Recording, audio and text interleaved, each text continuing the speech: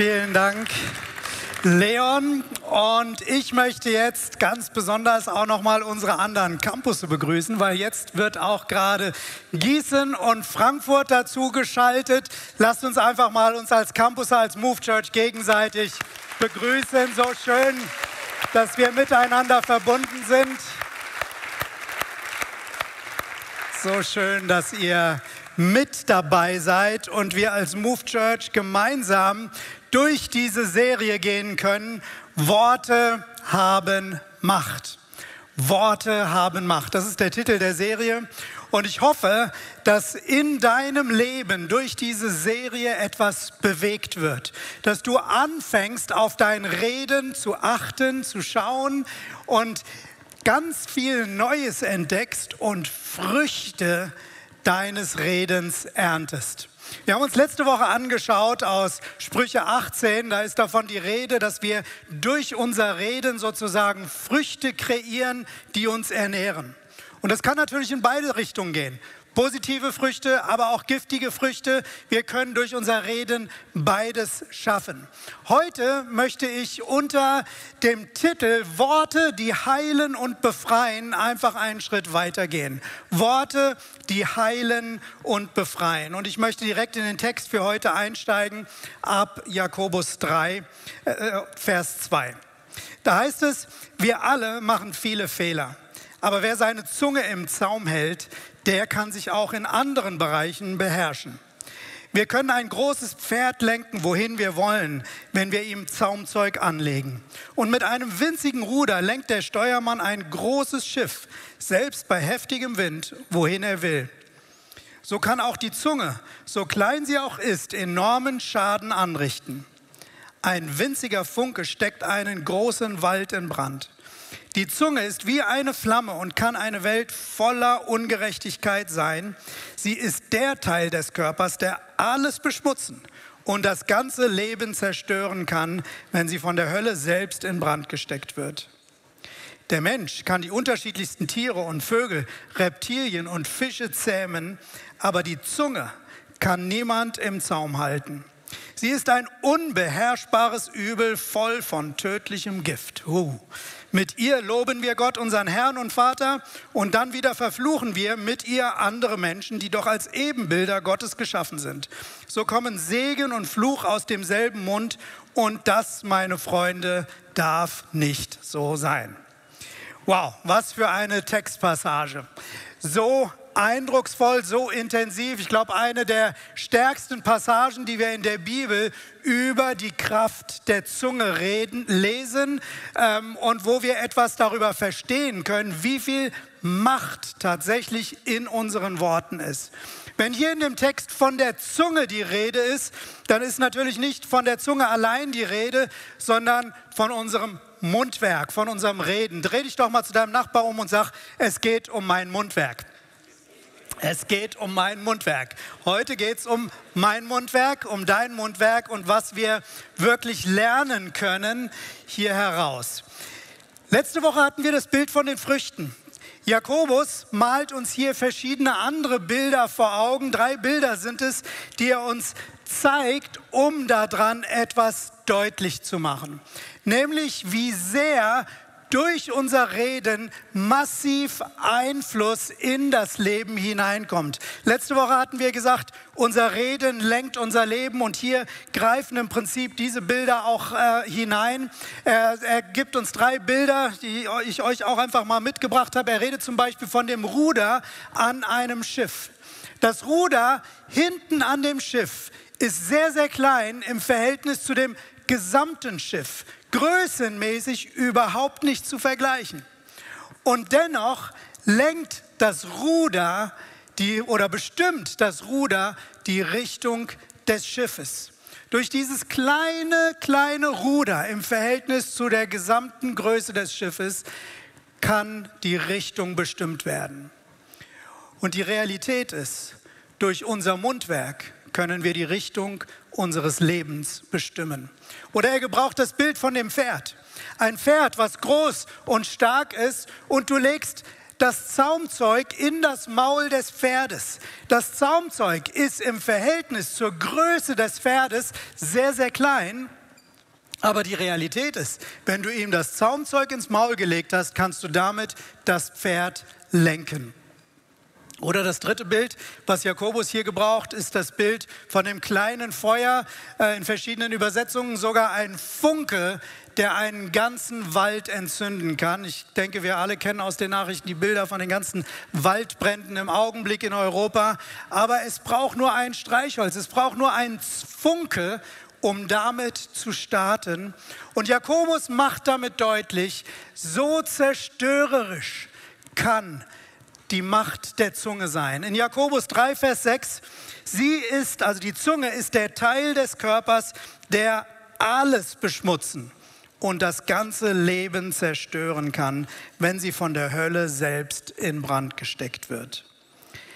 Alles beschmutzen und das ganze Leben zerstören, wenn sie von der Hölle selbst in Brand gesteckt wird. Ich glaube, dieser Nachsatz, wenn sie von der Hölle in Brand gesetzt wird, macht eins deutlich. Es gibt eine andere Seite, das ist nicht die göttliche Seite, sondern der Versuch des Feindes, Satans, Teufels, wie auch immer du das nennen willst, aber dagegen zu steuern, damit unsere Worte eine zerstörerische Kraft entfalten und nicht Leben hervorbringen. Es ist das Potenzial zum Leben da, aber es kann alles zerstören. So heißt es hier.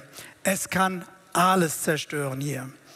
Und wir wollen uns einfach mal so ein paar Punkte anschauen, was zum Beispiel zerstört wird, was durch die Kraft negativer Worte geschieht. Das ist bei weitem nicht vollständig, aber es sind einfach mal so ein paar Punkte, damit wir uns vergegenwärtigen, was überhaupt durch negatives Reden geschieht. Der erste Punkt ist Worte verletzen. Worte können sehr massiv verletzen. Wenn du dich körperlich verletzt, dann kannst du das vergleichen. Worte sind wie Messerstiche. Worte sind wie Schnitte, die man sich zufügt im körperlichen. Und eine Wunde, die du dir zufügst, die schmerzt und die braucht Zeit zu heilen. Und wir alle kennen das, glaube ich, dass Worte gesprochen wurden, die uns wehgetan haben, die uns gestochen haben, die uns in unserer Seele verletzt haben. Es kann sein, dass du angelogen worden bist. Es kann sein, dass du beschimpft worden bist. Es kann sein, dass negative Aussagen über dich gemacht worden sind, dass du zu Unrecht irgendwie negativ ähm, beurteilt worden bist, Lügen über dich verbreitet worden sind. Es gibt so viele Dinge und Worte verletzen. Der Unterschied zu unserem Körper ist, dass die Worte oder das, was durch Worte ausgelöst wird, oft nicht so schnell heilt. Was meine ich damit? Wenn ich mich am Arm schneide, ich verbinde das, ich schone das, dann wird das wahrscheinlich in relativ kurzer Zeit wieder verheilen.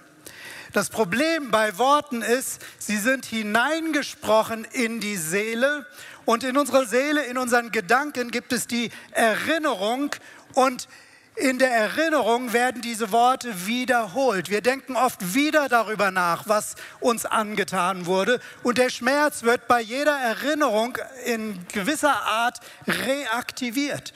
Worte, verletzende Worte, vergessen wir oft nicht so leicht, sondern sie sitzen tief. Manche Menschen leiden Jahrzehnte unter den Wunden, die ihnen durch Worte zugefügt wurden.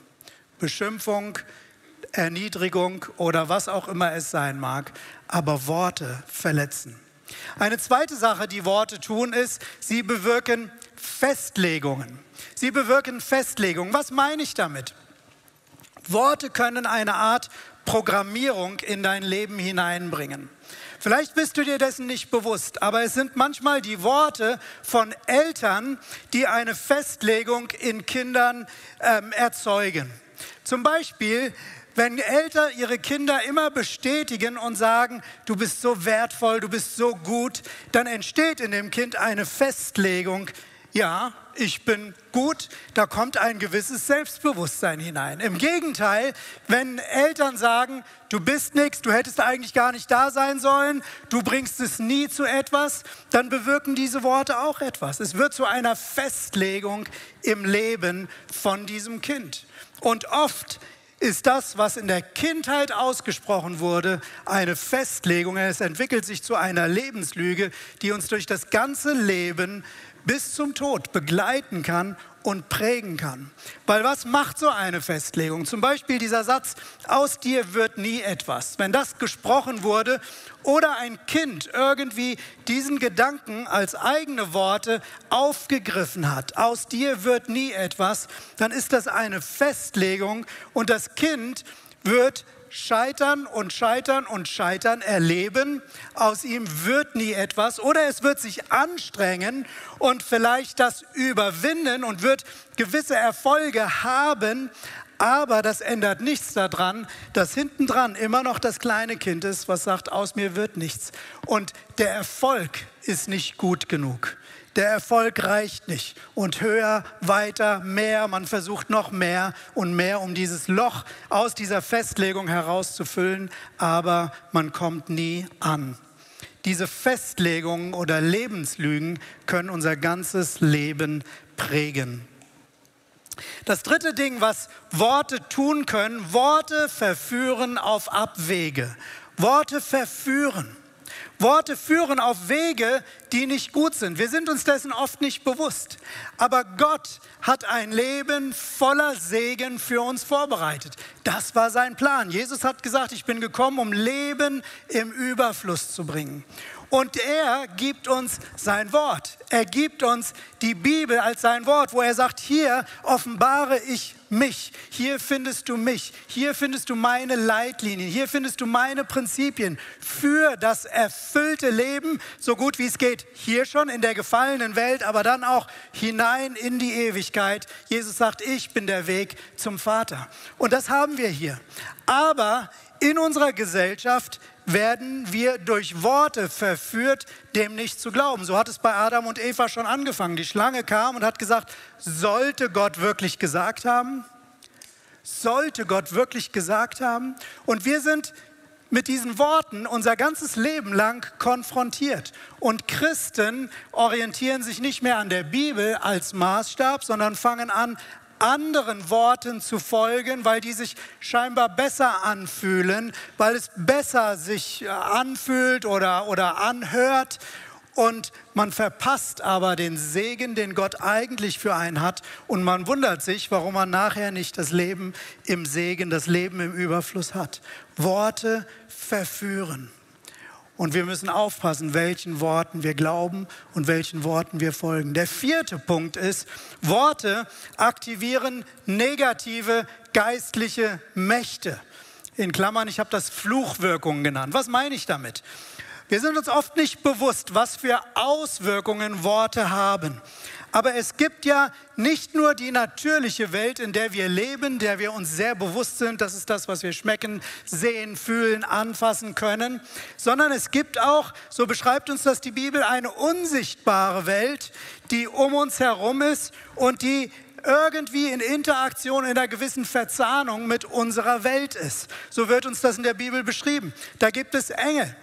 Das sind geistliche Wesen, die hineinwirken können in unsere Welt. Aber genauso gibt es auch böse Mächte, die mit bösen Absichten hineinwirken wollen in unsere Welt.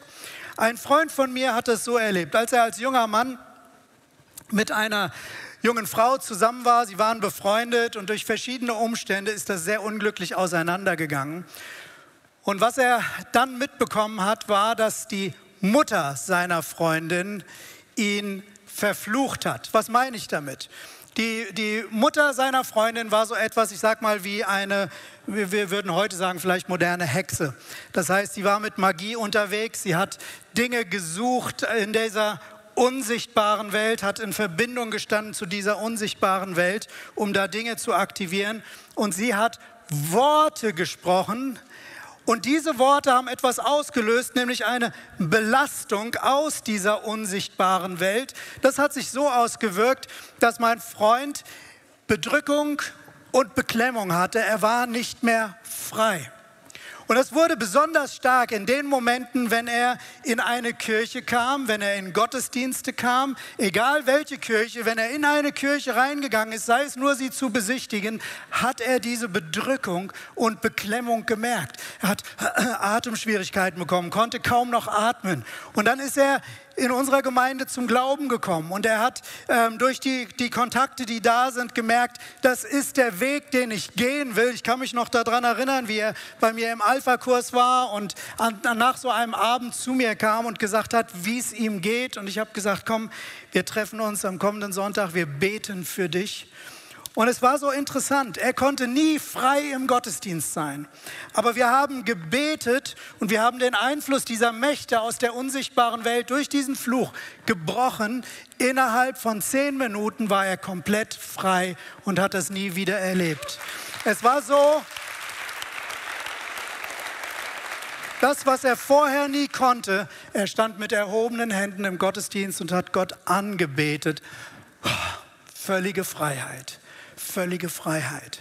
Aber was ich damit deutlich machen wollte, ist dieser Einfluss aus der unsichtbaren Welt. Wir sind uns oft gar nicht bewusst, wie sehr unser Reden Dinge einlädt, in unser Leben hineinzukommen. Als meine Frau äh, vor vielen, vielen Jahren noch einen Mann hatte, der noch wenig verständnisvoll war, ähm, der noch nicht so viel Rücksicht genommen hat und unsere Kinder klein waren, hat sie eine Phase durchlebt, die für sie selber nicht leicht war. Kinder klein, Stress, viele, viele Dinge und Herausforderungen und ein nicht so verständnisvoller Mann.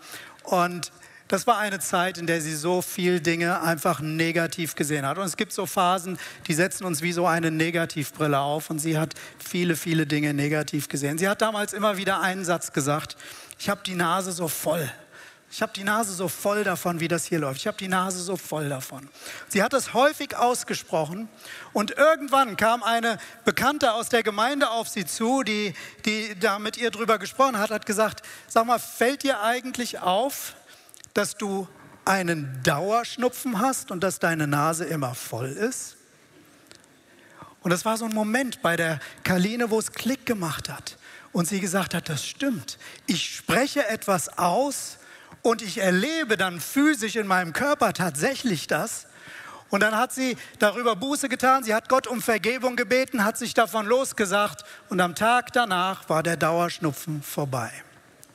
Das ist die Wirkung, die wir oft sehen und erleben, ohne dass wir uns dessen bewusst sind. So viele Menschen sagen, das geht mir alles so auf die Nerven und du lädst förmlich eine Nervenkrankheit ein. Ich sage nicht, dass jede Nervenkrankheit vom Reden herkommt, aber ich will eine Sensibilität dafür wirken, dass es ein kleiner Funke sein kann, für uns völlig unbedeutend. Wir sehen erstmal keinen Zusammenhang, aber es kann ein großes Feuer entzündet werden.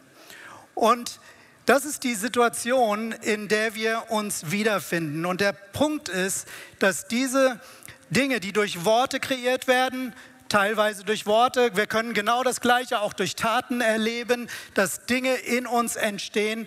Aber der Punkt ist, dass das gewisse Stolpersteine in unser Leben hineinbringt, die unser Leben auf die eine oder andere Art behindern oder blockieren. Was meine ich damit? Ich möchte es an einer kleinen Geschichte deutlich machen. Ich glaube, ich war acht Jahre alt. Da bin ich als Junge im Sommer, kurzen Hosen, in den Garten gegangen und bin über einen Gartenschlauch gestolpert und habe mir mein Knie aufgeschlagen. Ich habe geweint, bin weinend reingegangen, habe ein Pflaster da drauf bekommen und wenn man ein Pflaster hat als Junge, dann ist man ja stolz, dass man was erlebt hat und gemeistert hat. Und ich bin stolz wieder rausgegangen. Und dann kam ein Freund und hat gesagt, was hast denn du da gemacht? Und dann bin ich mit ihm zu dem Wasserschlauch hingegangen und wollte ihm zeigen, was ich vorhin gemacht habe. Habe meinen Fuß da dran gesetzt und bin gerade wieder drüber gestolpert, diesmal aufs andere Knie. Dann war ich nicht mehr so stolz auf das zweite Pflaster, sondern habe mich ziemlich blöd gefühlt. Warum erzähle ich das? Ich glaube, dass das, was Worte in unserem Leben ausgelöst hat, oft solche Stolpersteine sind, über die wir wieder und wieder und wieder und wieder stolpern, obwohl wir denken, eigentlich müsste ich es doch begriffen haben. eigentlich müsste es doch erledigt sein. Ich will das ein bisschen illustrieren. Ich nehme mal hier so einen der Stolpersteine, da steht Versagen drauf. Worte können ein Versagensbewusstsein in mein Leben hineinbringen.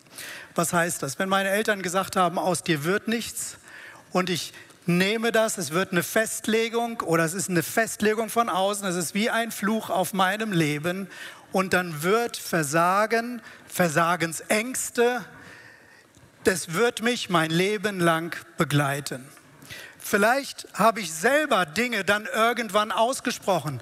Mensch, ich war früher ja immer in der Schule schon schlecht, also aus mir wird nichts. Aber es ist wie ein Stolperstein im Leben, wo man das Gefühl hat, kein Job schaffe ich wirklich gut. Überall ist Versagen. Ich kriege die Dinge nie wirklich gut auf die Reihe.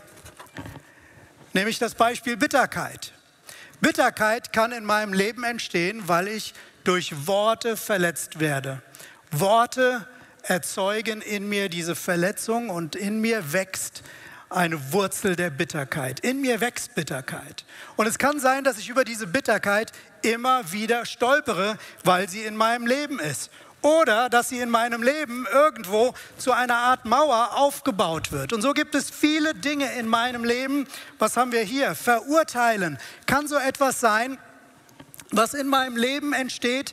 Ich wurde vielleicht verurteilt oder abgewertet und dann entsteht in mir so etwas, wie kann ich besser dastehen, indem ich andere verurteile. Oder vielleicht war es sogar, dass in meiner Gruppe andere verurteilt wurden. In den Klassenkämpfen haben wir das so. Oh, wie negativ haben wir die andere Klasse gesehen. Wir waren die Besseren und umgekehrt genauso. Man verurteilt, aber es sind Muster, die in uns entstehen und weil man das da getan hat, fängt man an, vielleicht andere Völker zu verurteilen. Man fängt an, das andere Geschlecht zu verurteilen. Immer wenn jemand Dinge macht, die anders sind oder die nicht in mein Raster hineinpassen, man verurteilt und wir gehen durchs Leben, aber irgendwie stolpert man darüber und dann gibt es natürlich noch mehr.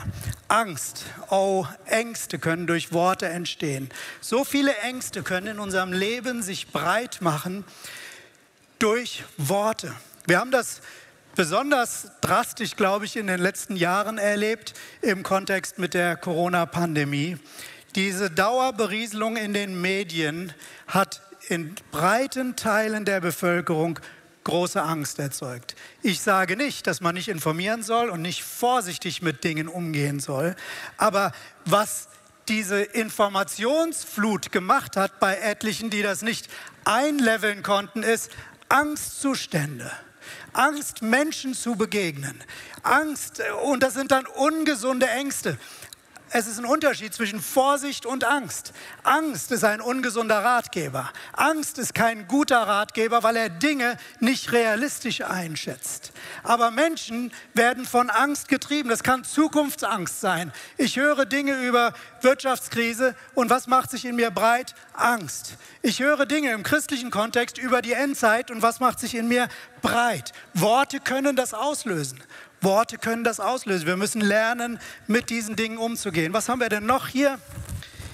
Wertlosigkeit. Wertlosigkeit. Oh, wie viele Menschen haben im Innersten tief drinnen ein Empfinden, nicht wertvoll, nicht wirklich gut zu sein. Wer bin ich denn schon? Bin ich wirklich wert, geliebt zu werden? Vielleicht waren es Worte, die über dir ausgesprochen wurden, die dazu geführt haben. Vielleicht waren es Erfahrungen, vielleicht war es dein eigenes Ding, wo du ähm, vielleicht Fehler gemacht hast und du merkst, dass Dinge sich in deinem Leben verselbstständigt haben. Wertlosigkeit. Menschen sagen dir, du bist wertvoll, aber es bleibt immer diese Frage da und wir versuchen uns zu beweisen. Und was oft passiert, was haben wir hier noch? Verzweiflung, Stolz kann sich reinsetzen und Unsicherheit. Ich habe das jetzt einfach mal so als eine Mauer hier aufgebaut, weil oft, was in unserem Leben passiert ist, dass die Dinge sich auftürmen wie eine Mauer, wie eine Blockade. Und es ist so, dass wir eigentlich ein verheißenes Land haben. Gott hat uns ein positives Land versprochen, aber es ist kein Durchkommen, weil diese Dinge uns im Weg stehen. Oder wir stolpern darüber immer und immer und immer wieder. Und das ist die Situation, die viele von uns haben. Und warum erzähle ich das alles? Thomas, willst du uns nicht aufbauen? Doch, das will ich, weil es geht um Worte, die heilen und befreien. Und der Punkt ist, es gibt einen Weg. Unser Glaube sagt uns, dass wir einen Erlöser haben, der die Freiheit für uns erkauft hat. Und wir müssen nicht da drin hängen bleiben. Wir müssen nicht da drin hängen bleiben. Galater 5, Vers 1. Zur Freiheit hat uns wer? Christus befreit. Lasst uns das doch mal gemeinsam aussprechen, hier und an allen Campussen. Zur Freiheit hat uns Christus befreit. Zur Freiheit hat dich Christus befreit. Vielleicht bist du hier und sagst, okay, was heißt das denn? Weil ich kenne Jesus Christus noch gar nicht wirklich. Ich möchte dir eine Sache sagen, wenn du in eine Beziehung mit Jesus Christus eintrittst, wenn du durchstartest in einem Leben mit Gott, dann baust du die Grundlage und das Fundament, genau diese Freiheit zu erleben. Wenn es dich betrifft, am Ende der Predigt nachher werde ich und auch an den Campussen werden wir eine Einladung geben, das Leben mit Gott zu verbinden. Aber lass uns mal auf dieser Grundlage weiterschauen, weil die Grundlage ist, Jesus ist gekommen, er ist für uns gestorben, er ist auferstanden, er hat den Tod besiegt, er hat die Sünde besiegt, er hat all diese Stolpersteine bereits ans Kreuz gebracht, sodass wir einen Ort haben, wo wir es auch hinbringen können. Er hat es vorbereitet für uns, sodass wir frei werden können. Gnade hat einen Namen und der Name ist Jesus Christus. Er hat es für uns getan. Und deswegen die Beziehung zu Gott ist das Fundament, auf dem alles andere aufbaut. Und dann beginnt für jeden von uns eine Reise. Was ich bedauere, ist, dass viele Christen, die diese Grundlage haben, sich trotzdem damit arrangieren. Und ich habe früh verstanden, was die Bibel sagt, ist die Wahrheit. Zur Freiheit hat uns Christus befreit. Also will ich mich damit nicht arrangieren, sondern mein Leben soll eine Reise sein, wo Dinge aus dem Weg geräumt werden. Wenn Verurteilen da war, dann will ich einen Weg mit Gott finden, dass das aus meinem Leben verschwindet und mich nicht mehr behindert. Und Gott zeigt uns einen Weg. Ich möchte mit euch ein paar Prinzipien anschauen, nämlich Worte, die heilen und freisetzen anhand von meiner eigenen Geschichte. Ich möchte ein paar Beispiele aus meinem Leben erzählen, weil ich glaube, dass das hilfreich sein wird. Aber ich möchte vorher noch zwei Bibelstellen ähm, reingeben, die ich glaube helfen, das Ganze richtig zu verstehen. Matthäus 18, Vers 18. Hier ist Jesus, der zu seinen Jüngern redet und er sagt folgendes. Alles, was ihr auf der Erde binden werdet, wird im Himmel gebunden sein und alles, was ihr auf der Erde lösen werdet, wird im Himmel gelöst sein. Jesus spricht also seinen Jüngern eine Autorität zu, zu binden und zu lösen. In heutigem Deutsch würden wir sagen, vielleicht Dinge gefangen zu nehmen, festzulegen und auf der anderen Seite freizusetzen, Freiheit in Gang zu bringen.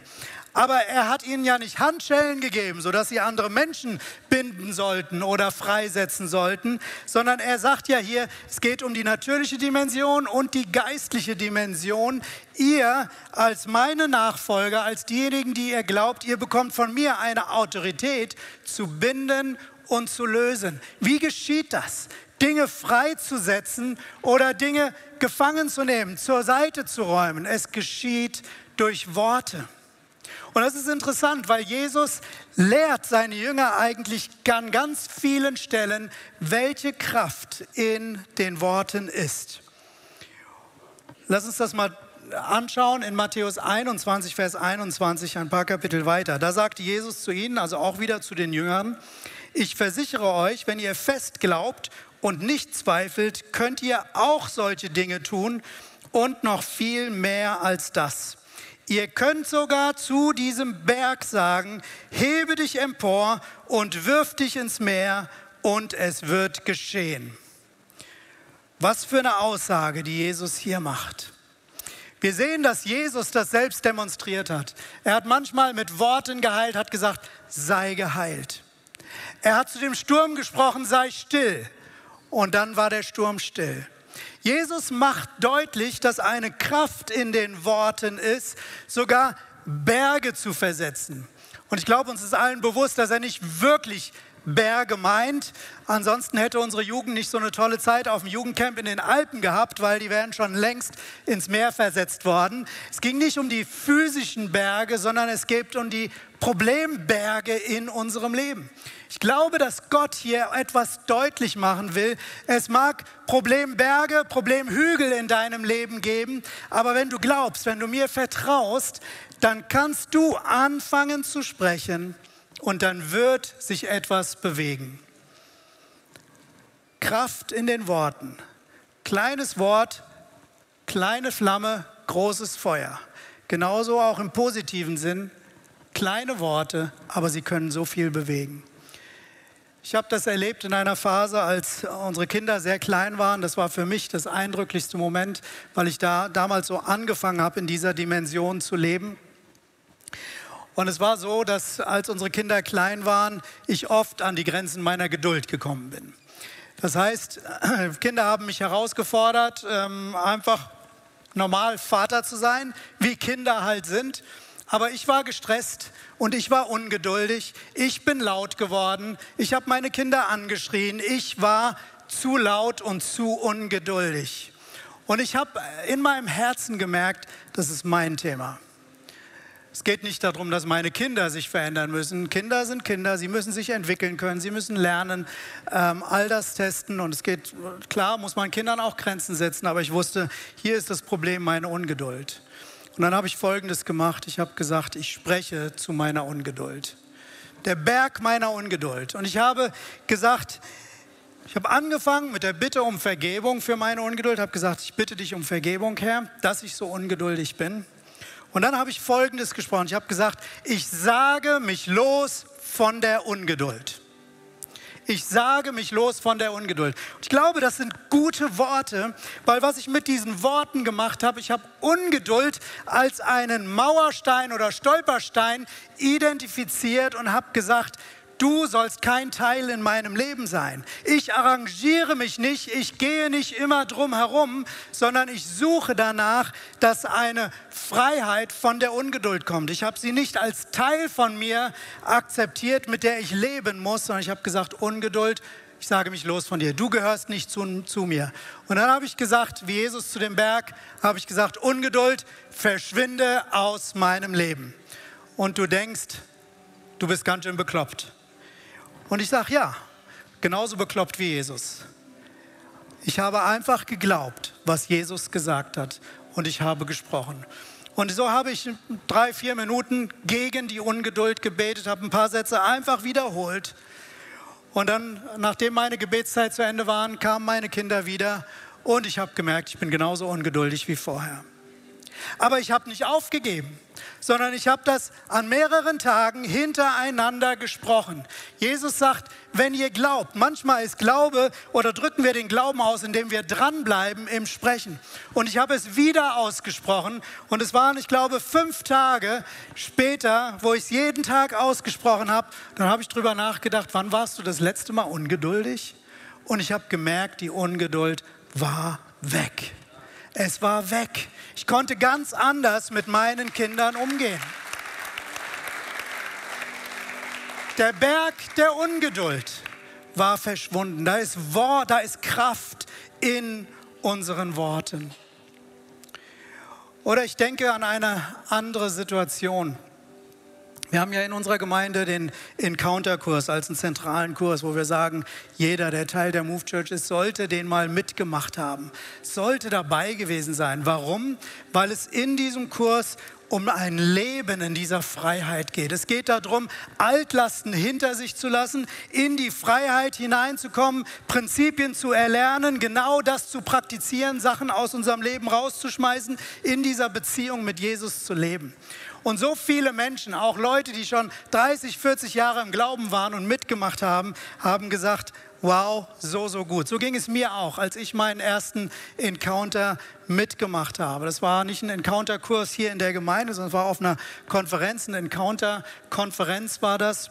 Und es geht um diese Begegnung mit Gott. Und ich war in dieser Konferenz und ich habe so einen Moment erlebt des tiefen Betroffenseins von Versagen in meinem Leben. Versagen kann so ein Stolperstein sein. Ich habe Versagen und Schuld gespürt. Manche Menschen weitestgehend verdrängen sie das, aber Schuld und Versagen kann so eine Last sein. Weil der Punkt ist, Dinge, die du getan hast, Du kannst sie nicht zurücknehmen. Du kannst sie nicht wieder gut machen. Du kannst es versuchen, aber was du getan hast, hast du getan. Und so viele Menschen leben mit der Last der Schuld und des Versagens. Und ich war in diesem Encounter und oft ist man sich dieser Dinge gar nicht so bewusst, aber es gibt Momente, da fängst du an, etwas zu spüren, was Realität ist. Nämlich, du kannst es nicht wieder gut machen. Es sind Momente, wo du oberflächlich drüber hinweggehen kannst, aber wenn du oberflächlich drüber hinweggehst und es verdrängst, das ist dann wie ein Ball, den du unter Wasser drückst, der kommt wieder hoch. Irgendwann kommt es wieder hoch. Aber Jesus hat einen anderen Weg. Und es waren Worte, die mich davon freigesetzt haben. Da waren es nicht die Worte, die ich gesprochen habe, sondern die jemand anders gesprochen hat, der Pastor, der uns da durchgeleitet hat. Er hat gesagt, was in der Bibel steht, nämlich, dass Jesus uns die Autorität gibt. Wem ihr die Sünden vergebt, dem sind sie vergeben.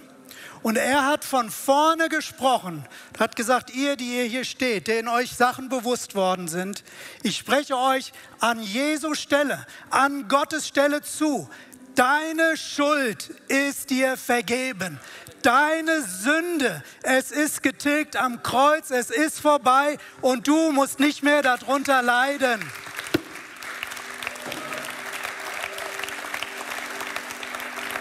Schuld, Schuld und Versagen sind ein für alle Mal aus meinem Leben verschwunden. Und es waren Worte, die jemand anders gesprochen hat. Und das macht deutlich, manchmal sind es unsere eigenen Worte, manchmal sind es die Worte von anderen, die heilen, die befreien, die freisetzen, die Wege öffnen. Und das gilt für dich. Du kannst für dein eigenes Leben sprechen, aber manchmal hast du Worte für jemand anderen. Deswegen haben wir unsere Connect-Gruppen. Und lass mich gerade vor dem Connect-Gruppensemester, wir gehen ja jetzt in das neue Semester, lass mich den Connect-Gruppen ähm, ein Commitment abnehmen, ihr Connect-Gruppenleiter. Achtet darauf, dass positiv, glaubensvoll, voller Leben gesprochen wird und nicht negativ gesprochen wird. Keine Zerstörung. Weil Gott hat Leben und er will, dass du aufgebaut wirst. Er will, dass dein Leben in Kraft funktioniert, weil er mit dir ist. Ich erinnere mich an eine andere Situation, die ich auch noch erzählen möchte. Da war äh, ein Kontakt zu einem Mann gewesen und die Beziehung ist richtig schief gelaufen. Und dieser Mann hat angefangen, mich zu verleumden, negativ über mich zu reden und Dinge über mich verbreitet, auch öffentlich. Und er hat Menschen auf Social Media, Facebook und was weiß ich wie kontaktiert, die ähm, irgendwie mit mir in Verbindung standen. Weißt du nicht, was das für ein Typ ist und so weiter. Also richtig, richtig negativ. Und was macht das, wenn du so verleumdet wirst, wenn Worte über dich gesprochen werden, die in deine Seele hineinschneiden? Das Erste, was bei mir entstanden war, war Bitterkeit. Und Bitterkeit kann so hart sein im eigenen Leben. Und auf die Bitterkeit hat sich Angst draufgesetzt. Auf die Bitterkeit und Angst haben sich noch andere Dinge reingesetzt, zum Beispiel eine Unsicherheit. Die Unsicherheit, wenn ich in der Stadt war, ähm, begegne ich diesem Mann, weil dem wollte ich nicht begegnen, weil ich nicht wusste, wie ich damit umgehen soll. Und dann kennen wir ja alle das, was wir Woche für Woche beten, das Vater unser. Vergib uns unsere Schuld, wie auch wir vergeben unseren Schuldigern. Und es kann so ein oberflächliches Gebet sein. Und ich habe das ein paar Mal auch so oberflächlich gesprochen. Ich vergebe ihm für das, was er da gemacht hat. Aber irgendwann kam der Moment, wo ich wusste, das Ding ist nicht durch. Es geht darum, Worte der Vergebung zu sprechen, die tiefer sind. Und ich habe mir davon jemanden seelsorgerlich helfen lassen, der mit mir einfach da durchgegangen ist. Und die Person war nicht da. Die, ähm, wir haben auch eigentlich wirklich nichts miteinander zu tun. Aber ich habe mir vorgestellt, dass die Person da ist. Und ich habe angefangen auszusprechen, Worte der Vergebung. Ich habe gesagt, ich vergebe dir, so als wäre er da, ich vergebe dir dass du negativ über mich geredet hast, dass du Lügen über mich verbreitet hast, dass du diese Dinge gesagt hast. Nicht nur das. Ich vergebe dir, dass du als Folge davon Angst in mein Leben gebracht hast. Ich vergebe dir, dass du diese Unsicherheit in mein Leben gebracht hast, sodass ich Angst oder unsicher bin, wie wird die Situation, wenn ich dir begegne. Und ich habe all diese Dinge ausgesprochen. Ich vergebe dir das. Ich vergebe dir das. Ich vergebe dir das. Und es war ein Prozess. Und, und, und mein seelsorgerlicher Helfer hat mich ein Stück weit darin angeleitet, dass ich es nicht oberflächlich mache, sondern wirklich auch in die Tiefe gehe damit. Und ich habe gemerkt, während ich eins um das andere ausgesprochen habe, wurde es in mir leichter. Und irgendwann war so der Punkt da, wo ich gedacht habe, Mensch, der Typ tut mir richtig leid. Etwas in mir hat sich verdreht und ich konnte plötzlich ihn mit Mitleidsaugen, mit Gottes Augen sehen. Da war keine Bitterkeit mehr und ich konnte ihn segnen, konnte sogar Positives aussprechen. Und was ich da erlebt habe, war, dass weil ich an diese Wurzel der Bitterkeit drangegangen bin und die rausgeschmissen habe, so viel anderes aus meinem Leben auch rauskam. Es war keine Mauer mehr, sondern ich konnte plötzlich in Bereiche hineingehen, wo ich vorher nicht rein konnte. Oft ist ein so ein Stolperstein eine Hilfe, dass vieles andere ins Wanken kommt. Das heißt nicht, dass das andere nicht mehr da ist. Wir müssen es vielleicht trotzdem zur Seite räumen. Aber Gott sei Dank, wir haben Jesus Christus, der den Sieg ein für alle Mal erkauft hat.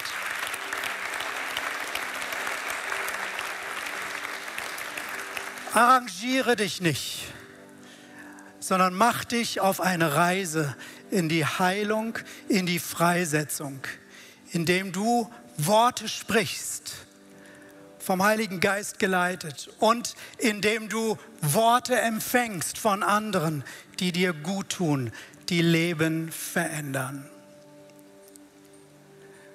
Ich möchte mit uns beten hier und an den Campussen, bevor wir die Campusse dann an den Campussen wieder übernehmen, möchte ich euch einladen, dass ihr einfach jetzt im Gebet mit mir vor Gott steht. Und ich glaube, dass auch jetzt durch dieses Gebet schon Stolpersteine verschwinden werden. Aber ich möchte einfach einen Segen auch in euer Leben hineinsprechen, sodass ihr selber euren Weg in die Freiheit, eure Reise hinein in eure Freiheit gehen könnt. Lasst uns zusammen beten. Herr Jesus Christus, wir kommen jetzt zu dir als Move Church und alle, die an diesen Gottesdiensten jetzt einfach beteiligt sind. Und mein Gebet, Jesus, ist, dass du die Worte von heute nimmst und Glauben in unseren Herzen verankerst und verwirklichst, sodass wir uns ausstrecken nach Worten, die heilen und befreien. Und Heiliger Geist, ich bitte dich, dass du jetzt da, wo wir sind, online zugeschaltet in Gießen, in Frankfurt, hier, dass du anfängst, uns Stolpersteine zu zeigen, die du gerne aus unserem Leben räumen möchtest.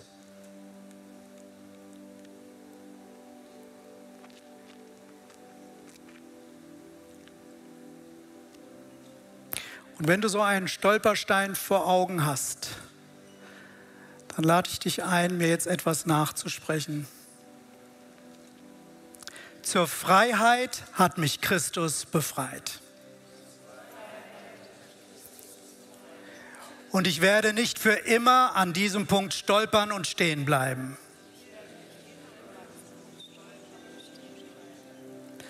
Danke, Herr, für deine Freiheit.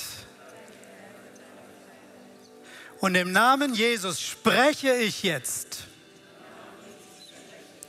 dass dieser Stolperstein verschwindet aus meinem Leben. Löse dich auf in dem Namen Jesus. Ich binde deinen Einfluss in meinem Leben und löse mich davon. Du gehörst nicht zu mir heb dich hinweg und verschwinde. In dem Namen Jesus. Und ich möchte jetzt von vorne euch hier in Wiesbaden, online, Gießen, Frankfurt, ich möchte euch segnen mit Glauben und Autorität, dass eure Worte heilen und befreien euch selbst in eurem eigenen Leben, aber auch, dass Gott euch gebraucht, um andere zu heilen und zu befreien. Und so segne ich im Namen des Vaters und des Sohnes und des Heiligen Geistes jede Person, die hier mit uns jetzt verbunden ist. Ich segne dich mit Autorität. Ich segne dich mit Glauben. Und ich spreche Glauben in Existenz, ich spreche Autorität in dir in Existenz, sodass du anfangen kannst zu sprechen und du weißt, es mag so klein sein wie das Ruder an dem Schiff, aber hiermit fange ich an, die Richtung meines Lebens zu verändern. Damit segne ich dich. Und es soll verankert sein in deinem Leben, der Glaube an die Autorität in deinen Worten. In dem Namen Jesus. In dem Namen Jesus. Amen. Amen. Amen. Amen. Amen.